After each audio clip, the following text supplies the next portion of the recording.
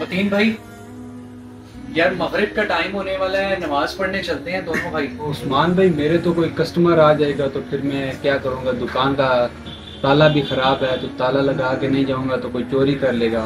मतीन भाई ताला मैं आपको दे देता हूँ हमारे पास एक एक्स्ट्रा ताला पड़ा हुआ है। आप कस्टमर को कॉल करके कह देंगे यार आप 10-15 मिनट बाद आ जाइए। यार उस्मान भाई आप जाए ना मैं आ जाऊँगा मैं आ जाऊँगा। मतीन भाई आए चलते हैं यार नमाज़ के लिए। और ताले का मसला है, ताले का हल तो निकल आया है। ताला मेरे पास एक एक्स्ट्रा पड़ा हुआ है। और बाकी जहाँ तक रही बात कस्टमर्स की तो ये पेपर लगा देते हैं बाहर, जिसके ऊपर लिखा है कि हम लोग नमाज़ के लिए चल पड़े हैं, आप भी हमारे साथ मस्जिद आ जाए। तो जो भी आएगा, वो थोड़ा इंतज़ार कर लेगा या वो मस्जिद में आ जाएगा तो उसके बाद आगे खरीदो फरोख्त होती रहेगी। चलें, ठीक है, मैं भी आता हूँ आपके साथ